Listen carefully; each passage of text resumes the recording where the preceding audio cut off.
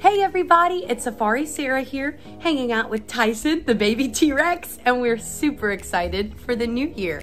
As you can see, I've traded my safari hat for one much more festive. Well, it's been quite a year here at Jurassic Quest, and we've had change of Jurassic proportions. Right, Dino Dustin? Safari Sarah, we have accomplished a lot with our big herd of dinosaurs. So many things. Prehistoric Nick, what stands out for you?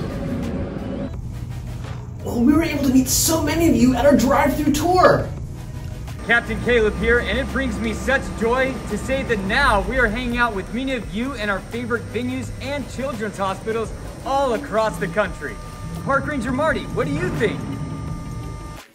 Yeah, and this year wouldn't have been near as successful if it wasn't for all of you guys. Thank you so much for coming out and spending time with us and learning about dinosaurs with us. And we definitely couldn't see ringing in the new year with anybody else. And we are beyond excited. So let's soar like a pterosaur in 2022! OMG, it's time! 10, 9, 8, 7, 6, 5, 4,